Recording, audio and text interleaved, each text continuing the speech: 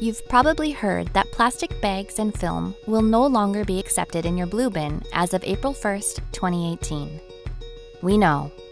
It's frustrating, and you're probably wondering why. Soft, stretchable plastics contaminate recycling streams. Plastic bags and film end up in bales of paper and cardboard, which make it hard to turn into new recycled products. As a result, the global recycling market is now demanding higher quality recyclables.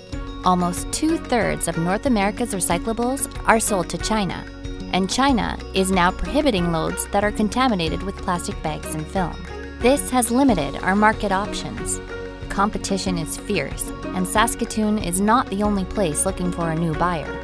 To ensure we are able to secure a purchaser, we must comply with the new standards or face a stockpile that will eventually end up in our landfill.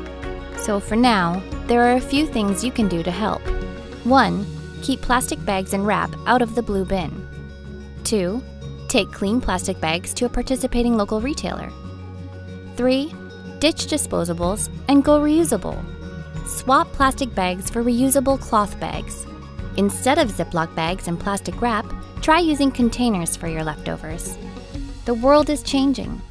We can adapt. Go reusable. Learn more at saskatoonrecycles.ca.